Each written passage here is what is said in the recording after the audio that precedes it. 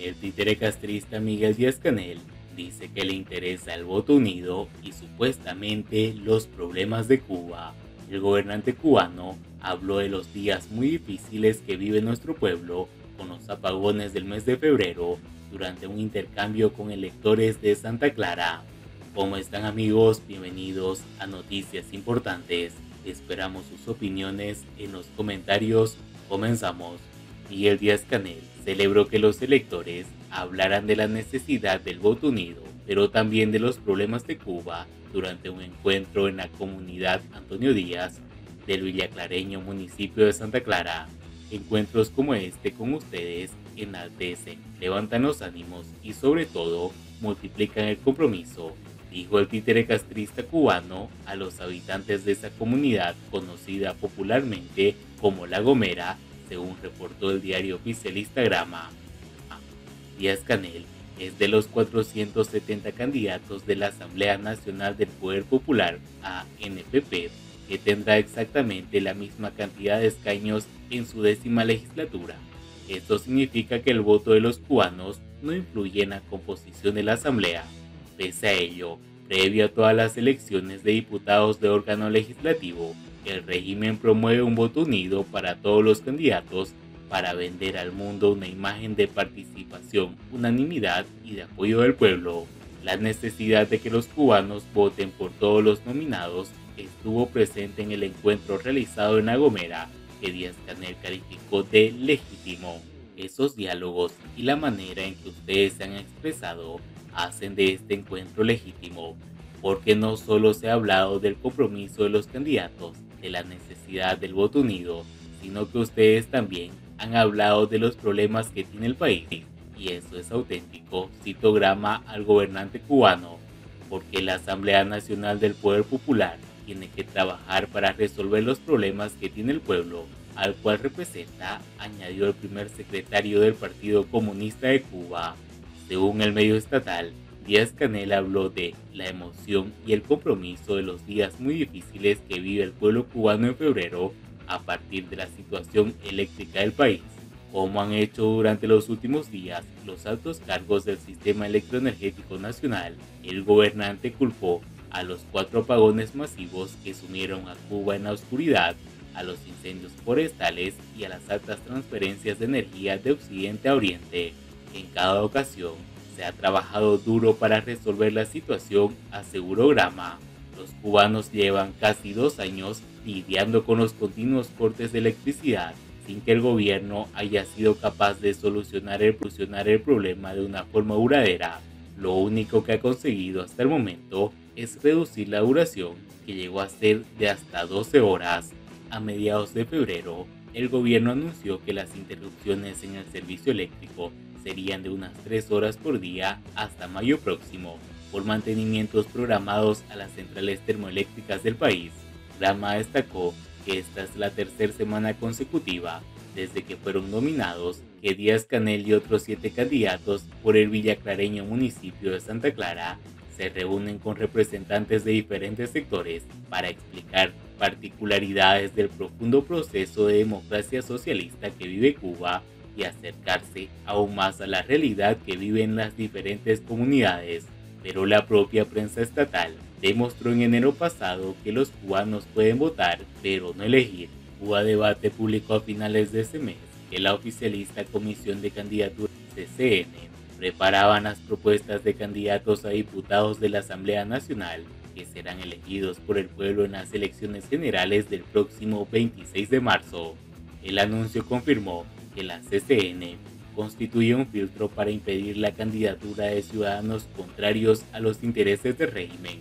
Los cubanos votarán solo después de que la comisión haya decidido por qué ellos, qué personas, son capaces para convertirse en diputados. Debido a la falta de poder de la ciudadanía para poder elegir a sus representantes, agrupaciones políticas y organizaciones de la sociedad civil cubana promueven la abstención como una forma más segura para expresar el rechazo popular a la dictadura de cara a los comicios convocados por el Partido Comunista para el próximo 26 de marzo. Se trata de la campaña hashtag Cuba dice no a la dictadura que comenzó el pasado mes de noviembre con, mes de noviembre con las votaciones de delegados a la Asamblea Municipal del Poder Popular bajo el nombre de Campaña del No y que crece ahora de cara a las votaciones nacionales impulsadas por un gran abanico de grupos de ciudadanos cubanos.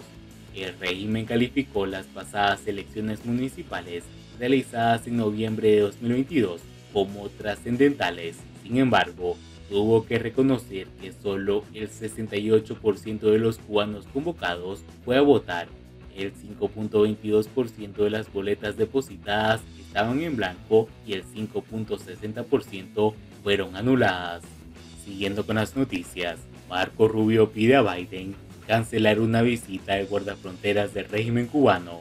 Las tropas de guardafronteras de Cuba están subordinadas al Ministerio del Interior recuerda el senador republicano. El senador por la Florida, Marco Rubio, pidió al presidente Joe Biden cancelar las visas de una delegación del régimen cubano a la sede de la Guardia Costera en Washington DC, programada para la próxima semana. El republicano aseguró haber sido notificado de que agentes de la Guardia Fronteriza del régimen cubano y del Ministerio de Relaciones Exteriores de la dictadura pronto visitarán Estados Unidos para reunirse con la Guardia Costera estadounidense y recorrer sus instalaciones, publicó Radio Martin Noticias.